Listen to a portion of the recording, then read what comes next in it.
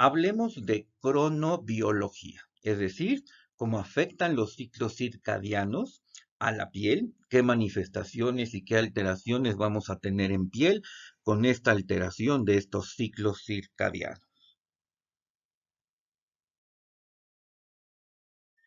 ¿Qué son los ciclos circadianos? Bueno, son oscilaciones de diferentes variables biológicas en un intervalo regular del tiempo. La palabra circadiano proviene del latín circa, que significa alrededor de, y 10, que significa día. Entonces nos están dando la idea, ¿verdad?, que en 24 horas, en un día completo, nosotros vamos a tener diferentes variables biológicas, diferentes procesos biológicos que van a ser influenciados por este reloj, ¿verdad?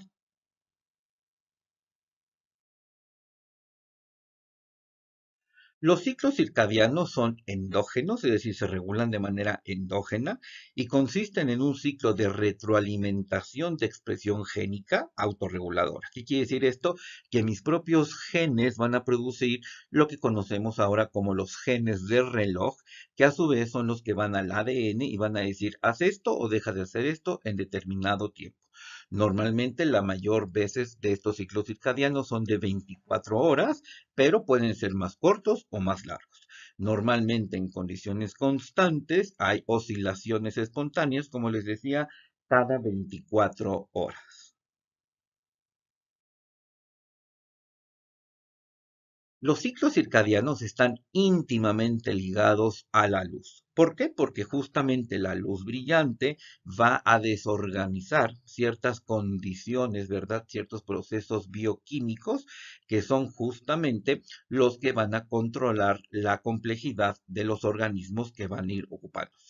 Así es que fíjense cómo la luz, ¿verdad? A través de mis ojos es captada, hay una serie de transformaciones y justamente esta información va a ir secretando moléculas, ciertas moléculas químicas que van a llegar a diferentes partes de mi cuerpo y entonces le van a decir a mis células, haz esto o deja de hacer esto. Así es que por eso es muy importante que cuando durmamos, por ejemplo, estemos alejados de estas luces, ¿no? Porque sabemos que evidentemente, por ejemplo, cuando tenemos un insomnio, ¿qué hacemos? Que la luz está apagada y empezamos a ver nuestro celular, empezamos a ver este, ciertas cosas y entonces esta luz va a llegar directamente a mis ojos, estoy mucho más cerca de ellas y entonces esto altera más mi ciclo circadiano. Por eso es muy importante mantener también una, una higiene mental, una higiene, una salud digamos, en los hábitos que tenemos para dormir y durante el día cuando estamos despiertos. ¿Cuál es la parte de nuestro cuerpo que regula de primera instancia estos ciclos circadianos? Pues definitivamente es el núcleo supraquiasmático. Como les decía, es el centro principal de la regulación de los ciclos circadianos, ya que sincroniza los ritmos periféricos y sobre todo, aquí está la clave, estimula la secreción de melatonina por la glándula pineal. ¿Para qué? Pues para que ésta haga o deje de hacer algunos efectos importantes y sus manifestaciones en todo el cuerpo. Aquí nos vamos a centrar evidentemente en piel, pero evidentemente, como les decía, esto sucede en todo el cuerpo.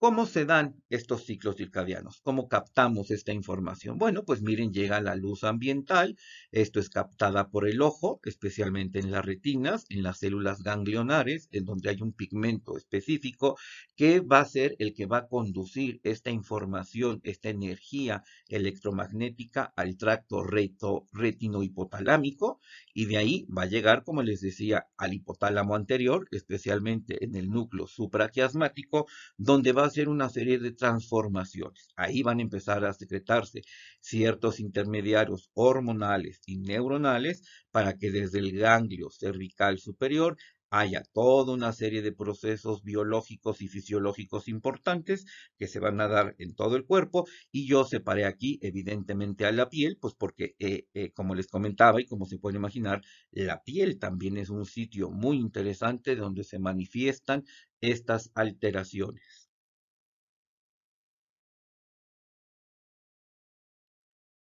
La piel tiene varios relojes circadianos, es decir, es algo mucho más complejo porque fíjense cómo desde el ojo a través de la luz, como ya quedamos a nivel de nuestro cerebro, empiezan a mandar estos mensajeros químicos que ya sea por la sangre se van a distribuir a todo el cuerpo y también por la misma sangre, evidentemente, van a llegar a la piel. Y también recordemos que nuestra piel está grandemente inervada, así es que mucha de la información viajará por nuestro sistema nervioso, sobre todo el sistema sistema nervioso simpático y entonces ahí las células cutáneas van a justamente a responder a estos cambios, a estas señales que le han estado llegando o no, de acuerdo a los cambios de y los efectos de esta luz ambiental.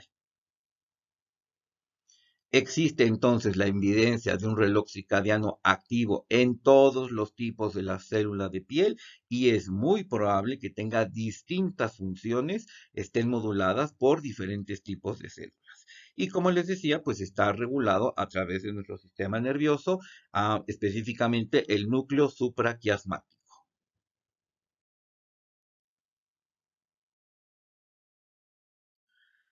Así es que Fíjense cómo llega la luz, va a llegar y directamente, como ya vimos, va a activar, les decía, a ciertos genes. Estos ciertos genes se llaman genes de reloj. Los que hasta ahora hemos podido detectar son estos que están aquí, estas proteínas, ¿verdad? Que van a ser expresadas a través de ciertos genes y que, como les decía, se llaman genes de reloj. Estos genes de reloj, a su vez, cuando son expresados, cuando son sintetizados, van a ir y justamente van a, dar información a ciertos otros genes que están controlados por estos genes de reloj, ¿se fijan? Y estos genes que siguen las órdenes de estos genes de reloj son los que justamente van a producir los cambios fisiológicos que vamos a ver a continuación, específicamente en piel. El proceso es un tanto complejo. Yo aquí les pongo un resumen de lo que hasta ahora se ha investigado, ¿no? De cómo se dan esta, esta señalización primero para activar a los genes de reloj y después cómo estos genes de reloj activan a otros genes para que hagan sus efectos. Lo primero que tenemos que hacer entonces es una activación, ya quedamos por la luz, en donde se van a expresar estas dos proteínas, que son proteínas de genes de reloj, ¿verdad? Estas dos, fíjense, se, se unen en el interior del núcleo, se fijan como aquí ya están unidas, y una vez que están unidas, pues entonces van a empezar a dar información a ciertos genes, por decirles algo, haz colágena, deja de hacer colágena, cicatriza bien, no cicatriza bien, crece cabello, no crezca cabello, etcétera. Estas son las informaciones que se van a dar. Ahora fíjense cómo también la presencia de estos, estos dímeros, esta combinación de dos, porque se fijan aquí estaban separados, en el núcleo están juntos. Esta unión es la que justamente hace todo esto. Y esta unión también hace que nuestros propios genes ahora expresen otros dos, este verde y este moradito. ¿Se fijan? Estos dos se expresan de manera individual, después posteriormente se juntan, otra vez tienen que estar unidos, y esta unión de estos genes, el PER y el CRI, van a ir a detener la expresión de estos dos que, desarrollaron todos, ¿se fijan? Eh, por eso es un ciclo, fíjense, como hay un inicio, empieza la expresión, se sintetizan estas dos proteínas que a su vez van a ir juntas a silenciar esto. ¿Para qué? Para que esto se vuelva a repetir. Por eso tenemos ciclos que duran normalmente 24 horas. Fíjense, tenemos un inicio, un máximo, luego empieza un declive. Al tiempo cero otra vez, empieza otra vez la síntesis de estos dos, se da todo esto, aparece en esto y justo cuando va a llegar a las 24 horas, esto se vuelve a juntar para detener esto. Y así es como estos ciclos hacen estas oscilaciones aproximadamente en un periodo de 24 horas. Como les decía, estos ciclos circadianos, esta cronobiología afecta todo mi cuerpo, pero nosotros nos vamos a enfocar a qué pasa en piel. Y la verdad es que en piel generan ambientes muy diferentes tanto el día como la noche porque ya sea que haya una mejor o no eh, exposición, por ejemplo, a toxinas, tenemos riesgos de lesiones físicas, por supuesto en el día estamos expuestos a los rayos ultravioleta, quizás también a temperaturas extremas y a pérdida de agua. Pero ¿y qué pasa en la noche? También hay procesos importantes y es justamente lo que vamos a revisar. Así es que, como se pueden imaginar, y ya habíamos comentado, el reloj de la piel no es una, entidad única, sino que hay múltiples relojes periféricos, todos trabajando de alguna manera independientes, pero coordinados entre sí, que van a funcionar dentro de los diferentes compartimentos anatómicos de la piel, ¿eh? toda la piel. Vamos a ver un resumen de cómo es que afectan o cómo se manifiestan estos ciclos circadianos en piel. ¿Por qué se manifiestan en piel? Bueno, porque hoy se ha demostrado que tanto queratinocitos, folículos pilosos, fibroblastos, melanocitos, células inmunológicas, células nerviosas, adipocitos, todos ellos van a estar también regulados y tienen receptores específicos para una regulación circadiana. Esto es una de las funciones evolutivas muy importantes y que se han resguardado y mantenido en nuestra piel. Vamos a revisar algunos de los ciclos más importantes y más representativos que tenemos en piel. Por ejemplo, en epidermis tenemos que tanto la barrera lipídica, la barrera epidérmica, la pérdida transepidérmica de agua y el contenido de agua del estatocórneo cumplen un ciclo circadiano. Es decir, el ciclo por las noches en las funciones de la barrera lipídica depende de los cambios durante el día, sobre todo en la expresión de acuaporina tipo 3 que mantiene o no la humedad en el estrato córneo. Luego tenemos, por ejemplo, ritmos diurnos en la replicación del ADN y los mecanismos de reparación del ADN. Por eso se acuerdan que las cremas de noche son como más nutritivas, tienen más elementos, más eh, nutrientes, ¿verdad? Que le van a dar a nuestras células. ¿Por qué? Porque se ha demostrado que la mayor división celular, al menos epidérmicamente, sucede a las 22 horas. Por eso a las 10 de la noche hay una mayor mitosis y una mayor reparación del ADN. ¿Por qué? Bueno, pues porque el día, en el día estuvo sometida al ataque de rayos ultravioleta, ¿verdad? A radicales libres y por lo tanto hay que reparar por la noche. Por eso por la noche habría que dar más antioxidantes, habría que dar más protectores del ADN, tanto de las células epidérmicas como de las células dérmicas. Por supuesto, el sistema inmunológico cutáneo está bajo el control de un reloj circadiano. Las respuestas de la piel a las infecciones y las agresiones autoinmunes también pueden depender de la hora del día. Así también como fíjense qué interesante, la cicatrización de heridas el reloj circadiano contribuye a una desaceleración replicativa de los miofibroblastos. ¿Se acuerdan que eran muy importantes para la fibrosis, por ejemplo? Un proceso importante para la conversión de la producción de cicatrices a la remodelación de cicatrices y una maduración adecuada. Fíjense cómo puede influir, por ejemplo, el no dormir en un proceso de cicatrización. Luego, también tenemos el patrón epidérmico intrafolicular de la actividad del pelo. También está bajo un reloj eh, circadiano. Así es que el crecimiento del pelo también tiene que ver con el crecimiento eh, circadiano y la respuesta circadiana. Y, por supuesto, el tejido adiposo no se queda atrás ya sea la lipogénesis y adipogénesis, están controladas también por relojes circadianos. Hay una proteína, por ejemplo, que se llama nocturnina, que se llama así porque evidentemente se produce en la noche y es cuando más grasa acumulamos. Así es que también el no dormir puede favorecer el acumulamiento de tejido adiposo. Como ven, entonces son bastantes complejos los ciclos circadianos. Estos son los que ahora están más investigados. Probablemente haya más y se están investigando, pero de momento estos son los que conocemos bien y fíjense cómo están afectados, ¿verdad? Y cómo están correlacionados de manera eh, eh, independiente, pues trabajan de manera independiente, pero fíjense cómo todo se puede manifestar al mismo tiempo en piel en diferentes eh, tejidos cutáneos. Así es que, haciendo un resumen,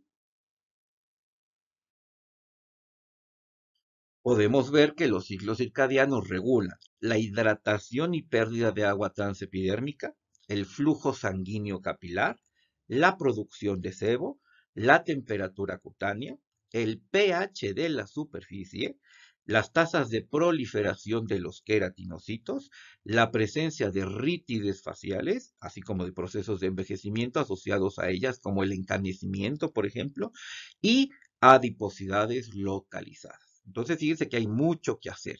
Esto ahora abre las puertas entonces a la investigación de principios activos o de eh, hábitos que debemos de reposicionar o que debemos de retomar o replantearnos para de alguna manera cumplir con estos ciclos circadianos y sus afecciones en la piel.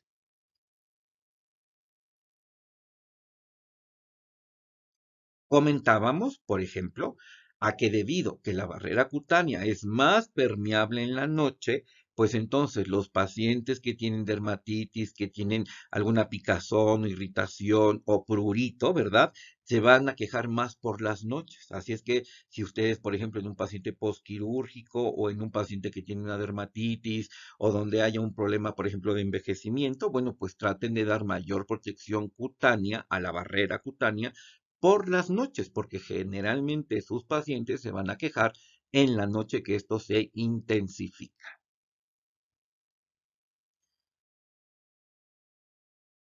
Luego también hay que considerar, por ejemplo, que la temperatura de la piel refleja también un ciclo circadiano. Es decir, hay más temperaturas bajas que ocurren en la madrugada, la temperatura de la piel es más baja en la madrugada y es más alta por la tarde. Así que en la tarde, por ejemplo, nos vemos más rojitos, en cambio en la noche tenemos temperaturas más bajas. Y ojo, esto fíjense que por eso ahora también entienden por qué los vehículos de una crema de noche son diferentes a los vehículos de una crema de día, porque la temperatura más baja ah, dificulta un poco la penetración. En cambio, en el día que hay mayor microcirculación, que hay mayor temperatura, la penetración penetración de activos es mucho mayor. Por eso los vehículos de una crema de noche, los vehículos que ponemos por las noches deben ser diferentes. Es más, a veces por eso a los pacientes les dices, ponte un serum, un gel y encima ponte una crema. Algunos, ¿no? No todos los necesitan, pero una de las razones es esta. Otro cambio importante asociado a la ritmicidad cutánea es la secreción del sebo. Fíjense, normalmente es mucho más baja por la noche, pero es más alta en las primeras horas de la tarde típico que tu paciente te dice, oye, es que fíjate que estoy muy bien, la crema que me diste, el producto, el tratamiento va muy bien, pero a las 2, 3 de la tarde ya tengo la cara que me brilla mucho. Claro, porque es una respuesta circadiana. Nuestro sebo se produce mayormente a las primeras horas de la tarde. Entonces, ¿dónde hay que poner el tónico seborregulador, un producto seborregulador? ¿Muy de noche o muy de mañana? No, hay que ponerlo a las primeras horas de la tarde.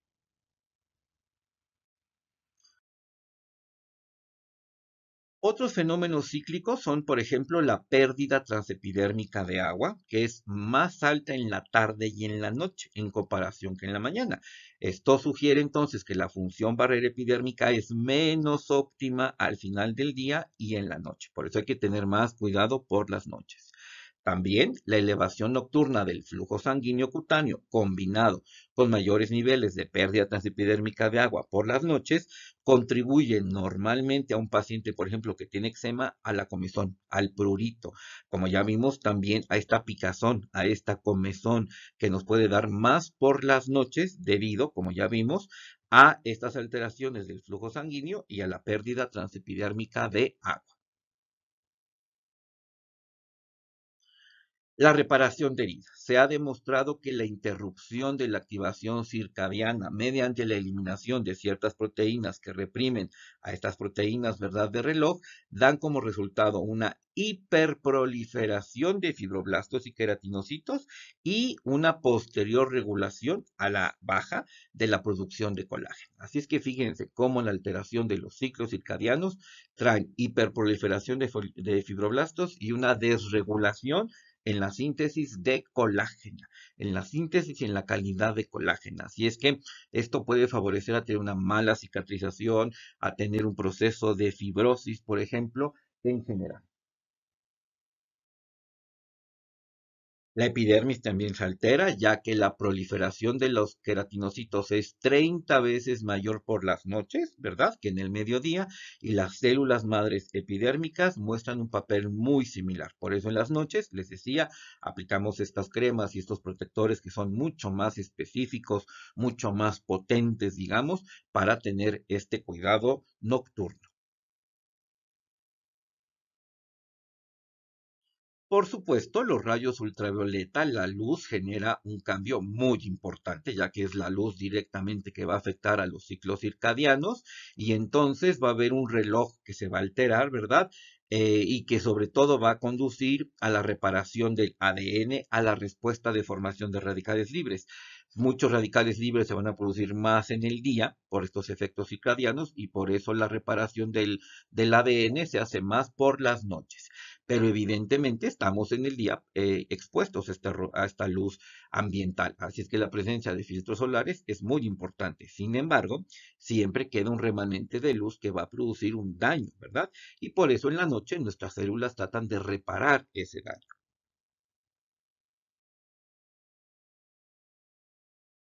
Les decía, en el día se trata de hacer no tanta mitosis para que no se generen tantos radicales libres, sino que se generen esta mitosis más bien por la noche y en el día tengamos una mayor protección frente a los radicales libres.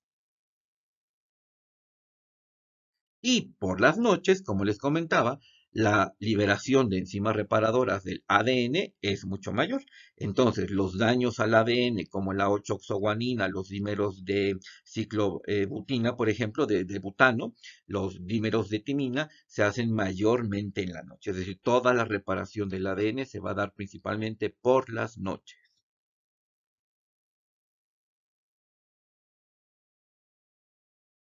También se ha visto que la degradación de estos signos de señales de reloj contribuye a cambios importantes en la pigmentación del cabello, ¿ok?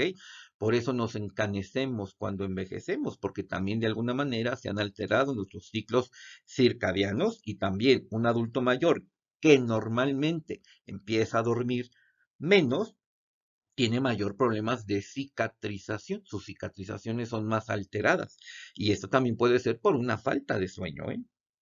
Por supuesto, hay un factor genético importante, pero a este se le suma esta cronobiología. Y por supuesto la alopecia. Los genes circadianos pueden desempeñar un papel muy importante relacionado en la alopecia, especialmente con personas con un envejecimiento cronológico avanzado. ¿Por qué? Porque ya vimos que hay muchos genes de reloj que están modulando el ciclo folicular. ¿Ok? Entonces también las alopecias están asociadas a estas alteraciones. Entonces, después de ver un panorama muy general de la cronobiología, ¿qué podemos hacer? ¿Qué conclusiones podemos tener? Pues miren, en el día, en el día necesitamos mayor protección cutánea. Hay mayor producción de sebo. Tenemos también valores de pH más altos. De hecho, la piel se engrosa normalmente durante el día. Estos procesos quizás sean muy suaves, muy delicados al principio. Conforme va pasando el tiempo, se pueden ir manifestando mayormente.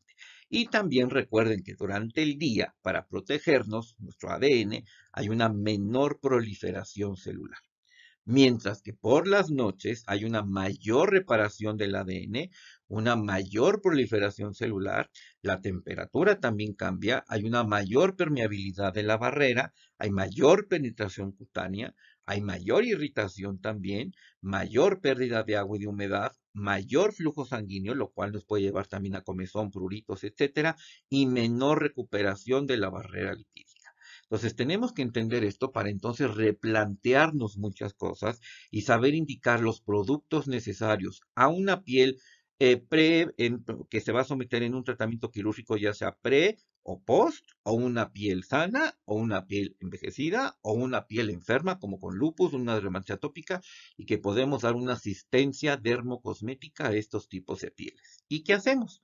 Pues les pongo la siguiente diapositiva. Entonces, en el día, es importantísimo la presencia de filtros para la UVA y para UVB.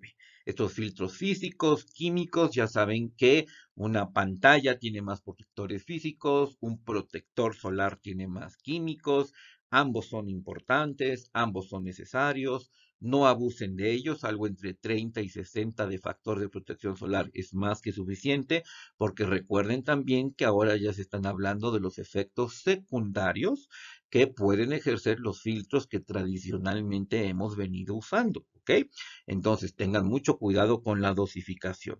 Las nuevas tendencias en filtros solares son filtros solares de mayor peso molecular, filtros solares que trabajen tanto con un mecanismo físico como químico y específicamente los que ahora se están trabajando más en el mercado dermocosmético son los benzotriazoles las marcas comerciales de estos productos, no de lo que ustedes van a comprar en el mercado, sino de las marcas comerciales, más bien para que ustedes busquen estos, estos benzotriazoles de manera eh, genérica, pues son los Tinosorf, se llaman Tinosorf.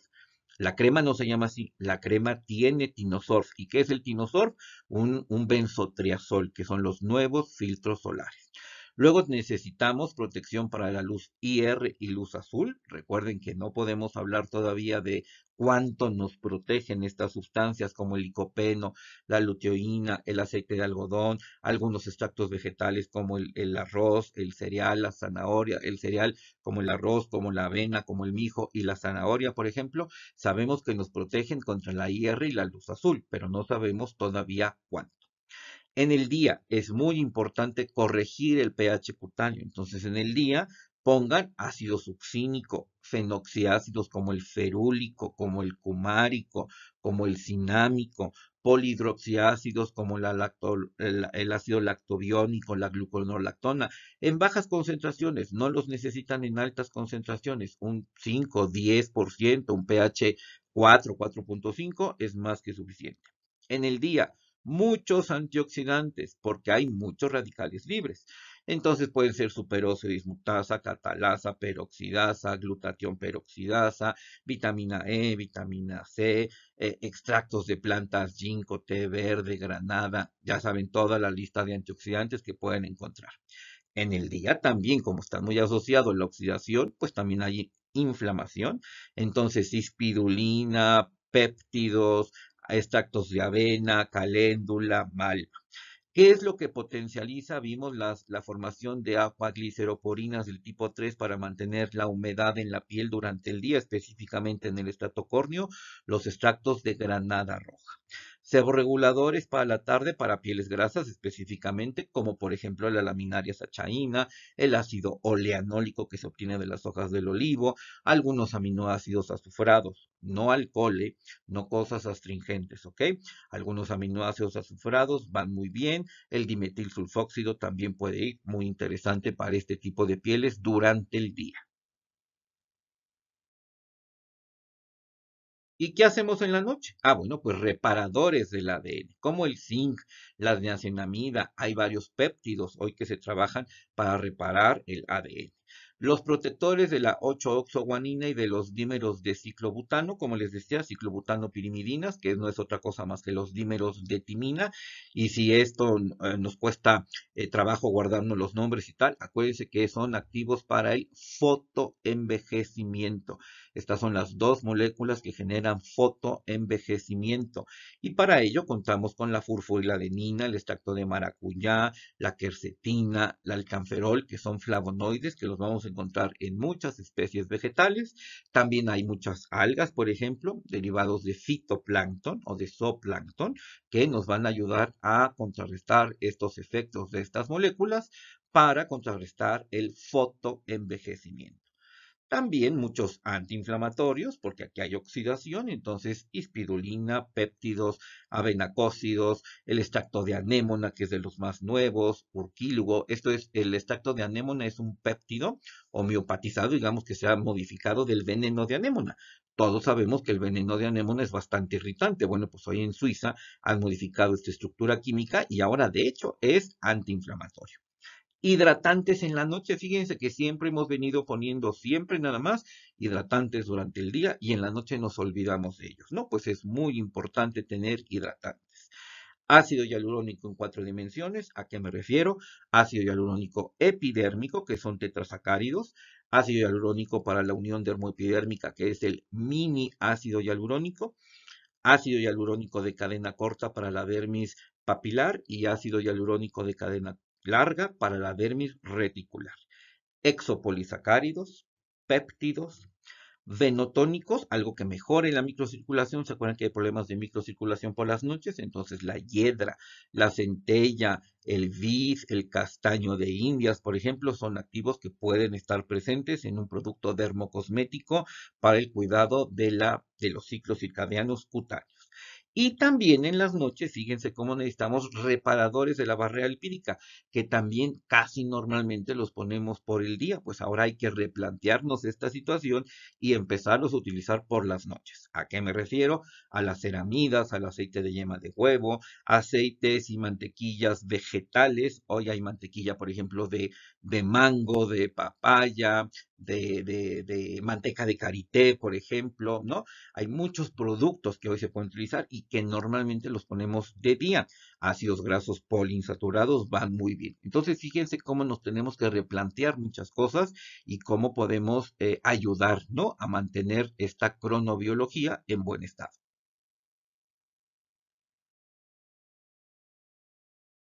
¿Hay algo más de lo que se puede hacer? Sí, hay algo más. Por ejemplo, la melatonina. Si les decía que la molécula principalmente reguladora de esta cronobiología es la melatonina, pues entonces hay que tratar de acceder a ella. ¿Por qué? Porque los queratinocitos, los fibroblastos, los melanocitos van a generar melatonina, metabolizan esta melatonina y son parte importante de su funcionamiento. El problema que tenemos es que la melatonina es una hormona. Así es que como tal, es poco probable, no imposible, pero muy poco probable que ustedes encuentren una crema, un producto dermocosmético con melatonina, porque la mayoría de las autoridades sanitarias COFEPRIS en México, FDA en Estados Unidos, la Comisión Económica Europea también, pues van a determinar que los productos que contienen melatonina sean considerados medicamentos. ¿Esto se nos acaba, entonces nos cierra la posibilidad? No, porque ahora tenemos los precursores de melatonina. Estos precursores de melatonina puede ser la N-acetilserotonina, específicamente el triptófano, la serotonina y la fenilalanina, cualquiera de esos, pueden ser precursores de melatonina. Y ya sea por un proceso de endomodulación, que yo me lo voy poniendo poco a poquito y voy viendo resultados al cabo de un mes, quizás, ¿eh? No se lo van a poner hoy y ya mañana van a estar de 15. No, no, no. Se lo ponen hoy y esperan un mes, mes y medio, dos quizás para que empiecen a ver estos cambios. Estos productos sí pueden estar presentes en dermocosméticos como tal, como triptófano, como serotonina, porque al final son el triptófano, por ejemplo, es un aminoácido, ¿se fijan? O si de plano no los encuentran, no se preocupen que un extracto de arroz, un extracto de avena, un extracto de cereza o bien de soya pueden tener estos activos y son precursores estupendos de melatonina. La melatonina es un excelente antioxidante, regula el melanocito, por supuesto controla el envejecimiento celular y nos puede dar beneficios estupendos en la piel. Otro activo muy interesante que se ha venido utilizando mucho, pero más a nivel hipolítico, mucho para ojeras, pero poco para un cuidado eh, cutáneo de, envejecimiento, por ejemplo, y ahora de cronobiología, es la cafeína. La cafeína es un excelente antioxidante. Por supuesto, inhibe, ya sabemos que tiene efecto lipolítico si lo aplicamos en el tejido adiposo, pero si lo aplicamos a nivel de, de, piel, digamos a nivel más tópico, más, más epidérmico o dérmico, pues nos van a ayudar a proteger a las células contra el ataque de radicales libres y también inhibe a la 5-alfa reductasa. Así es que podemos tener un efecto seborregulador, fíjense, con cafeína. Claro, en una dosis mucho más baja, el 3-10%, no tan alta como para un producto lipolítico, pero ahora hay muchas cremas que pueden tener o deberían de tener cafeína. También sucede que en algunos países esta cafeína está restringida para un uso dermocosmético, pero generalmente podemos emplearlo o podemos sustituirla con la presencia de extractos vegetales como el del café, como el del cacao, como el del guaraná, como el de la damiana, etc.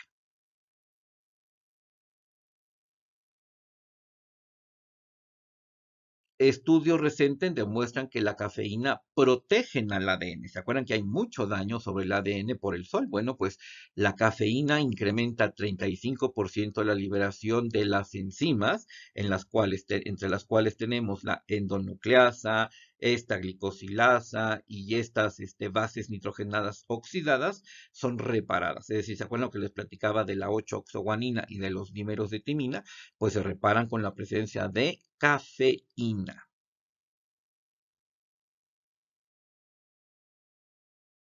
También otro artículo de este autor demuestra que la aplicación de cafeína tópica reduce de una manera muy importante la pérdida transepidérmica de agua. Así es que se mejora la función barrera de la piel y de la piel cabelluda para aquellos pacientes que tengan alopecia con cafeína. Concentraciones no más del 20%. Es un excelente antioxidante, puede incrementar la actividad de glutatión y, como les decía, mejora la protección contra el daño al ADN. Y no necesitamos inyectar ni microagujas, nada. Igual con microagujas lo pueden poner, pero que no sea tan agresivo con estas nano. Puede ser una crema y ya tenemos un efecto estupendo de esta cafeína. Entonces, concluyendo, los ritmos circadianos y su impacto en la vida humana ya no son simplemente una curiosidad, sino que deben informarse, deben estudiarse para ver sus ah, como implicaciones que tienen, no solamente a nivel de piel, sino del organismo entero. Por supuesto, la piel tiene claramente varios ciclos circadianos en la que todas sus funciones o gran parte de sus funciones están sometidos a estos. Por lo tanto, hay que tener en cuenta estos efectos de la cronobiología, ¿verdad? Para diagnosticar y proponer tratamientos específicos para cada paciente fomentar el descubrimiento de nuevos activos, ¿verdad? Que desarrollen eh, la mejora de estas alteraciones de los ciclos circadianos y sobre todo vigilar mucho los ciclos adecuados de sueño, de vigilia, la dieta, ejercicios y otras conductas que pueden alterar a los ciclos circadianos. Si bien la dermocosmética, la cosmiatría no se involucra en todo esto, debemos tener un trabajo multidisciplinario con estas eh, áreas especiales, ¿verdad? Estos especialistas para que ayuden a sus pacientes o clientes a tener una mejor calidad de vida y un buen producto dermocosmético van a ir poco a poco mejorando estos ciclos circadianos. Les dejo bibliografía por si quieren investigar más del tema, que es muy interesante y muy novedoso. Y les agradezco su atención.